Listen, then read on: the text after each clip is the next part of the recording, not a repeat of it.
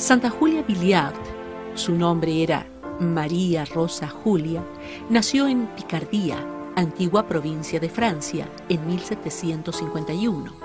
Pertenecía a una familia de modestos agricultores. Desde muy niña mostró inclinación por la vida piadosa y frecuentemente se le veía enseñando el catecismo. Un acontecimiento luctuoso cambió su vida. Hallándose en una habitación con su padre, un malhechor armado disparó contra éste a través de la ventana. La impresión causada hizo que enfermara gravemente y al reponerse quedó paralítica de ambas piernas.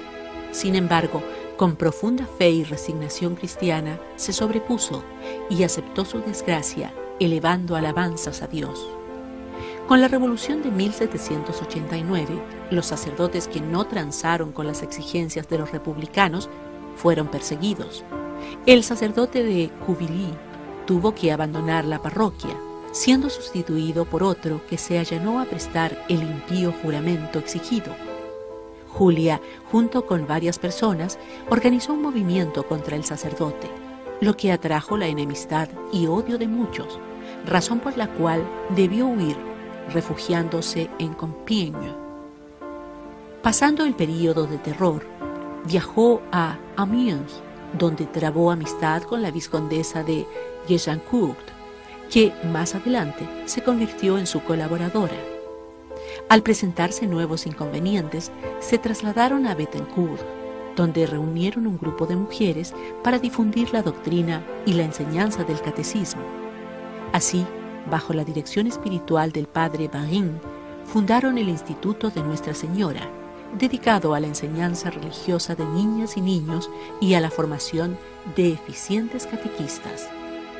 El día de la fiesta del Sagrado Corazón, un sacerdote que realizaba con la presencia de Santa Julia un piadoso ejercicio, se le acercó diciéndole, Madre, si tiene fe, dé un paso en honor del Sagrado Corazón de Jesús. Y la santa se levantó y caminó por primera vez después de 22 años. A partir de esta recuperación, siguió colaborando a favor de la fe y extendió las fundaciones a Namur, Gante y Tournai. Murió el 8 de abril de ese mismo año mientras recitaba el Magnificat. El cardenal Sterks calificó la obra de la Madre como explosión del espíritu apostólico en el corazón de una mujer que supo creer y amar. Santa Julia Billiard fue beatificada por San Pío X en 1906. Pablo VI la canonizó el 22 de julio de 1969.